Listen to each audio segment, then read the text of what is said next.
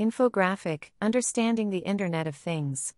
We've talked a lot lately about the Internet of Things and its potential to disrupt retail and other industries in a very significant way in the next 12 months, and the infographic below does a great job of breaking down its development.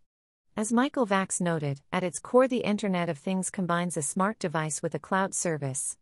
Already, 10 billion devices are connected to the web, and by 2015, the IoT will boast 25 billion Internet connected devices. Some interesting data points by 2020, the global IoT market is predicted to reach $8.9 billion. In that same year, there will be more than 200 billion connected devices. In a worldwide survey of 800 business leaders, 96% said they will be using the IoT in some way in the next three years. 68% of business leaders surveyed say they are already allocating budget to IoT. 17% are already using IoT externally. IoT devices also open users up to cyber attacks, making security a top priority in the development of this market. An image with the description Internet of Things. Source: bestcomputersciencedegrees.com.